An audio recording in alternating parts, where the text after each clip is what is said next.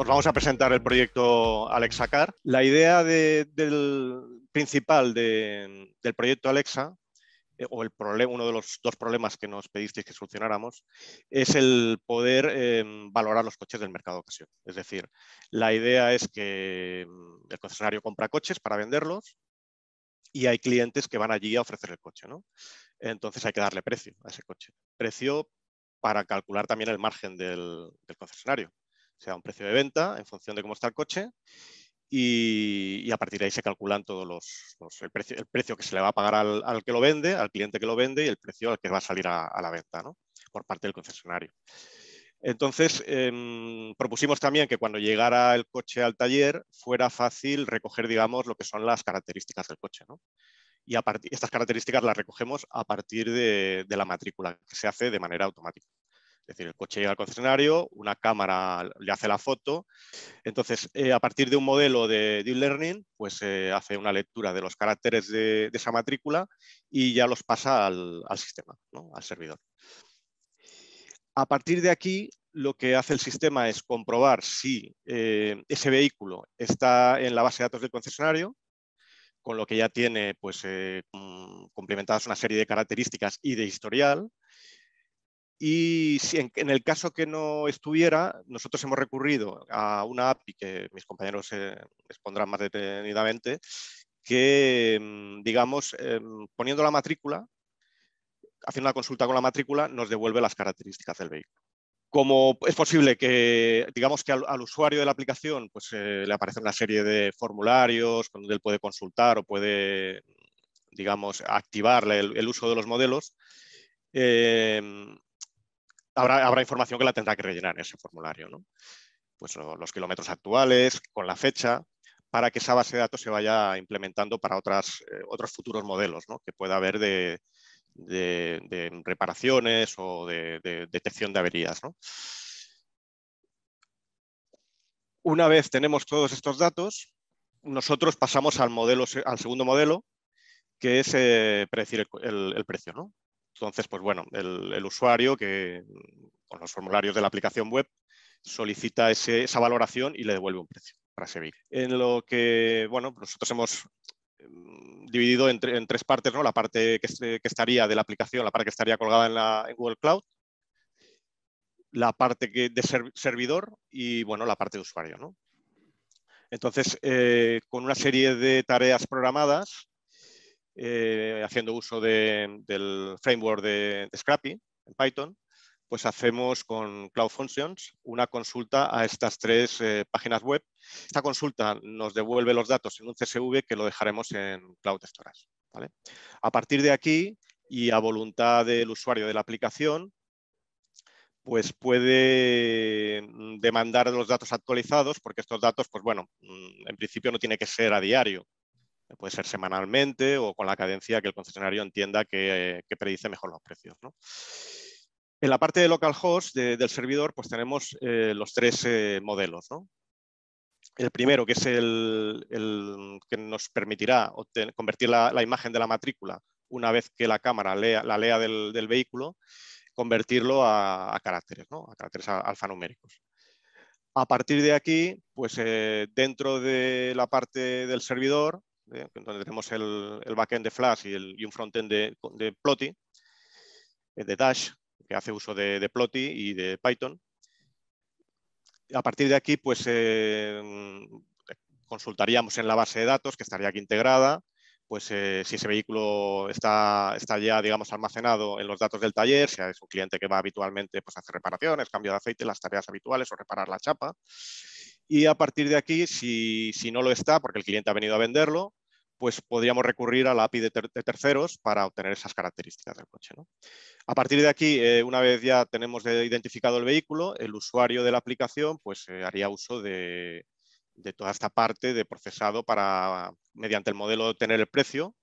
¿eh? llamaría a la aplicación Spark, que, actualizaría, entrenaría, digamos, el, si es necesario, claro, en ese momento hacerlo. Él, lo puede hacer a voluntad, ya se mostrará posteriormente, y obtendríamos el precio. Que es lo que le indicaríamos al cliente descontado los márgenes como precio de compra en el caso que sea un cliente que lo viene a vender y pues en el caso de que se esté poniendo la página web para la venta o haya alguien interesado, pues se le aplicarían los márgenes comerciales. Y por otro lado, tenemos un tercer modelo que está en desarrollo, pero ya hemos tenido alguna, pues, eh, alguna muestra, que sería mediante el histórico de averías del taller predecir ese coche que nos ha entrado y tenemos que valorar pues eh, dónde, en qué área del vehículo puede detectarse mm, la avería, ¿no? que aquí también pues, tendríamos que implementar si en los últimos meses ha venido eh, a hacer el mantenimiento. Bueno, pues esta es la, parte más conceptual de la presentación.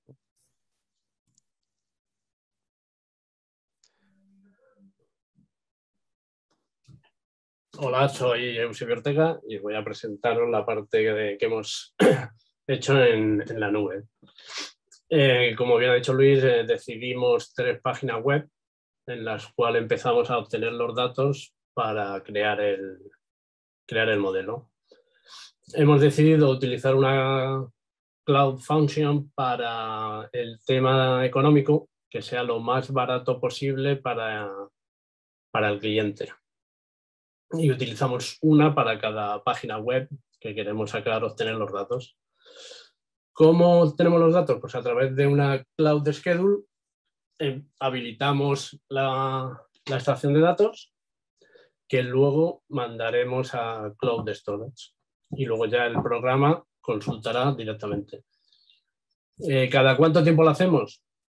Inicialmente, como los datos no son muchos, pues lo hacemos diariamente pero se puede hacer cuando incrementemos el número de páginas web, pues lo haremos o semanalmente o incluso quincenalmente.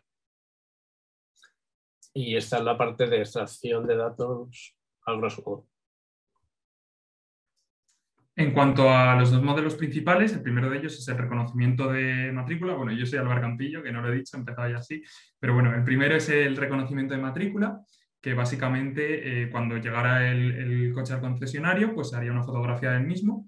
Eh, como todavía no tenemos la cámara y no teníamos pues, cámara para hacerlo, pues simplemente em, subimos pues, una foto hecha con el móvil, etcétera, etcétera.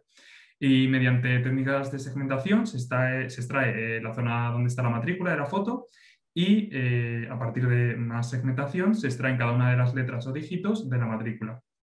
Luego estos dígitos y letras pues, se envían al modelo para que lo reconozca y nos devuelva pues, la matrícula ya en texto. Con esta matrícula pues, se harían las consultas que, eh, necesarias, tanto en la base de datos y si no estuviera el coche en la base de datos, se consultaría a, esta API de terceros que os hemos mencionado antes.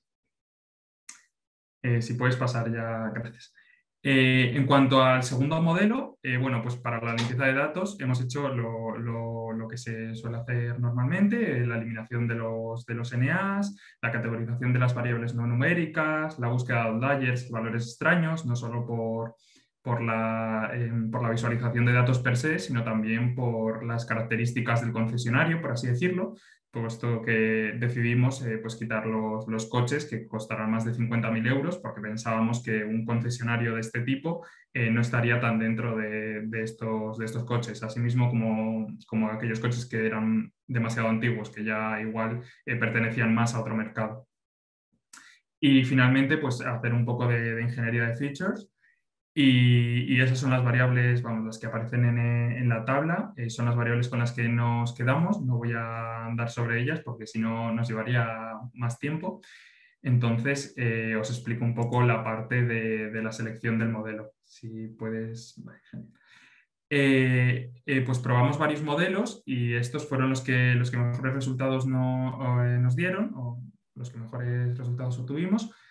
Eh, finalmente decidimos eh, fijarnos en la accuracy, tanto en el train como en, el dataset, vamos, en, la validation, eh, y elegimos el, el, modelo Random Forest, porque era el que más, más mejor eficacia mostraba, tanto en uno como en otro, y menor discrepancia entre uno y otro había.